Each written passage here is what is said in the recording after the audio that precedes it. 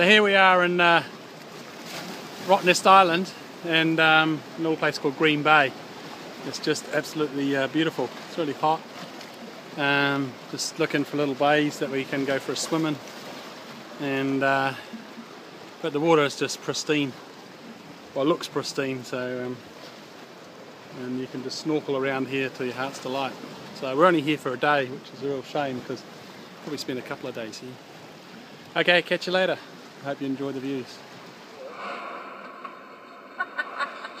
We bought some hats and some belts. Um, I bought a couple of crocodile belts, uh, which were, thought were a bit unique, and Mel bought herself a nice belt, and we bought a dicer slicer. Something else that we really wanted. So, I don't know, we're crazy. Which way are we going now? Just check out this place. And there's all these birds just flying in the sky at night. It's amazing. Swallows and everything. There's this absolutely stunning place. I, I can't pronounce the name. What was it again?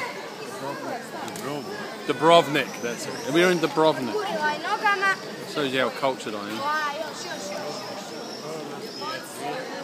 Pearl of the Adrid. Very, very, very cool. Well, here we are in um, beautiful Queenstown. It's about six degrees and um, just picked up uh, El Cheapo rental from Juicy Rentals. It's cheaper than a cab actually, but um, $75 for three days if you take the no excess option. And um, take a chance. Uh, so I like taking chances, but um, and um, costs you $35 to get a cab. Um, but it's a beautiful sunny day, and as we came over the Alps, you could see all the um, beautiful sunshine and the snow. It's just gorgeous, and it's nice, crisp, six degrees. So uh, I'll be here for a couple of days and have a bit of fun. Catch ya. Turn around. so, sitting here having wine, wine for a change. And watching sunset.